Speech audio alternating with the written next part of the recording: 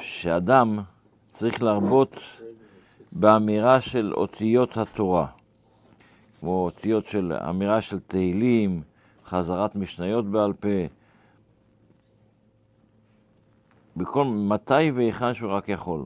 נקצל כל הזדמנות להגיד דברי תורה, אותיות של התורה. למה? אז הרבי אומר שני דברים. כדי לחזק את קיום העולם, הרי כתוב, ברוך שאמר והיה עולם. האותיות הם אלה שבורים את העולם, וגם כדי להינצל מחיבוט הקבר וכף הקלח, ולזכות לכל הגילויים הנעלים שיהיה בימות המשיח. זה בעצם, הרבי כותב את הקטע הזה ממאמר חסידות שכותב אותו האדמו"ר הקודם, בתש"ג, בשנה שהרבי כתב גם את היום-יום.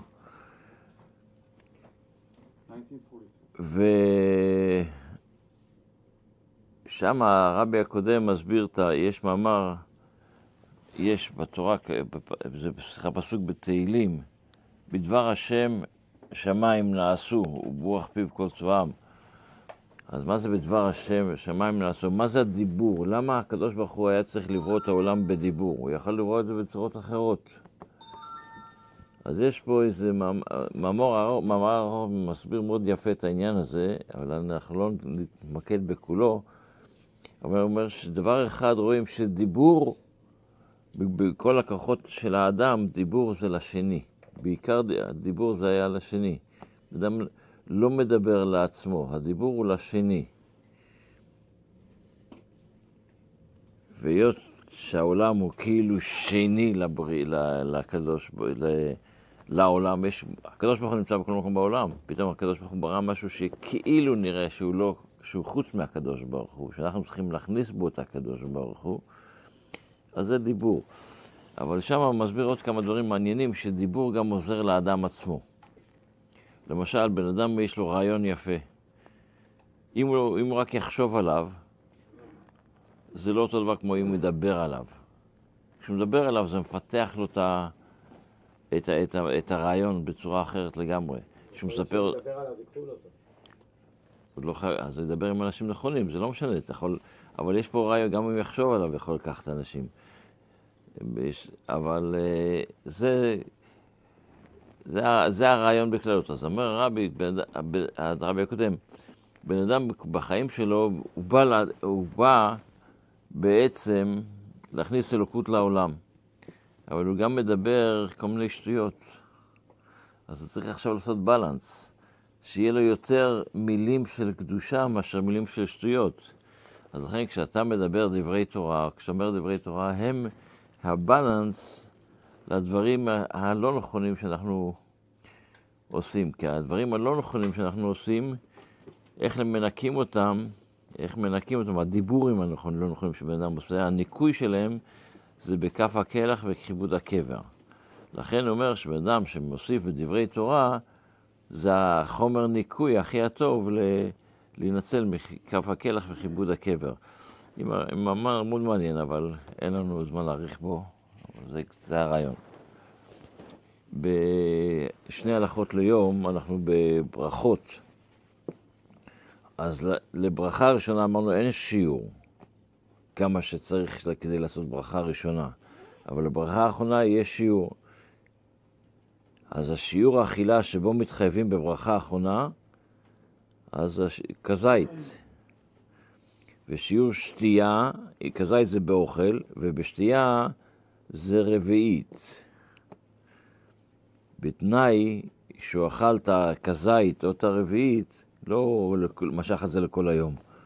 בתנאי שאכל ושתה את כמות זו תוך כדי אכילת פרס, שזה בערך שלוש-ארבע דקות. בדיעבד, אומרים, אתה יכול גם כן שש-שבע דקות. למה? כי זה, זה מה שעושה שהאוכל עד שהוא נעכל, זה השיעור של ההלכה. אבל אם אכל כמות שפחות משיעור זה, או שאכל את השיעור הזה במשך זמן יותר, אז יש לו, יש לו בעיה אם הוא צריך לברך ברכה האחרונה או לא. כי... עכשיו, אומר הרבי עוד דבר, אה, זאת אומרת, ההלכה אומרת עוד דבר, יש דברים שהם נראים הרבה, אבל הם בעצם לא הרבה. איך אתה בודק את השיעור? למשל, יש עוגת ספוג, עוגת ספוג עם הרבה אוויר, אז זה נראה גדול, אבל לפעמים אין לה את השיעור של הכזית. אז אה, צריך, הוא אומר, לא צריך להוציא את, את, את האוויר כדי שזה יראה, אם זה נראה כזית זה גם בסדר.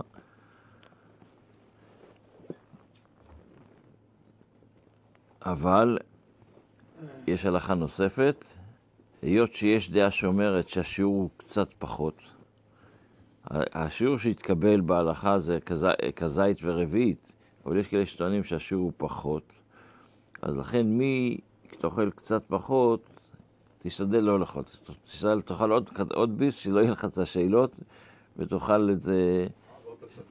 בדיוק, שתעבור את הספק. בתפילה, אנחנו ברבי ישמעאל אומר, בשלוש עשרה מידות שהתורה נדרשת בהן, אנחנו במידה השמינית.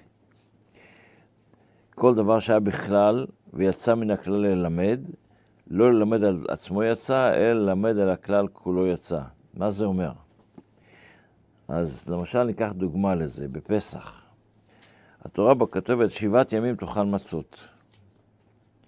זאת אומרת שאתה צריך שבעה ימים לאכול מצות.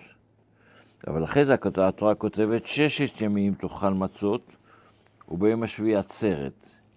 אז כמה ימים אתה יכול, צריך לאכול מצות? שש או שבע? יש פה... זה רש"י השבוע. אז, יצא, אז יצא יום השביעי מהכלל. זה נקרא, כל דבר שהיה בכלל, אז יום השביעי היה בכלל, ויצא מן הכלל. אז לא ללמד על, הכל, על עצמו יצא, לא רק שיום השביעי זה אתה לא חייב לאכול מצות, אלא על הכלל, על, אלא ללמד על הכלל כולו.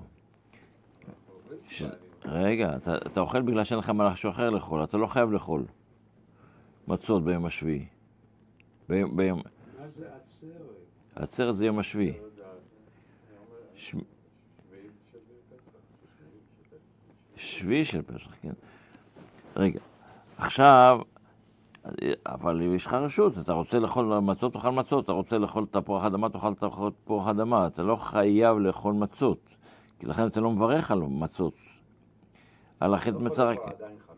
זה משהו אחר, אבל אתה לא חייב לאכול מצות, אתה יכול לאכול תפוח אדמה. ביום הראשון אתה חייב לאכול כזית מצה, יש לך מצווה לאכול כזית מצה. אבל מה? הבעל למד שזה בעצם כל השישה ימים האלה. אבל ביום הראשון יש לך חובה. כתוב בתורה שבערב תאכלו מצות. יש לנו עוד פסוק שלישי, שאומר בערב תאכלו מצות. אז אם חייב את היום הראשון, אני חייב לאכול מצות. אבל השישה ימים הבאים, אין לי שום מצווה לאכול מצות. אתה רוצה לקיים את אה, סעודת שבת, אתה צריך לחם משנה, אתה צריך מצות. אבל זה לא בגלל המצות, כי אין לך משהו אחר, אתה לא יכול לקחת לחמניות לעשות לחם משנה. אבל אם אתה יכול לאכול אה, מקום, יש כאלה שטוענים שמקום סעודה גם כן בפירות, אתה יכול לעשות קידוש על פירות. לא. זה הרעיון, וזה הרעיון של הלימוד הזה. שיש דברים שיוצאים מהכלל, הם באים ללמד משהו, וזה הלימוד שאנחנו לומדים. זו דוגמה. יש עוד כמה דברים כאלה, אבל זו הדוגמה. שיהיה לנו יום טוב, בשורות טובות. העולם עובר כבר לכל...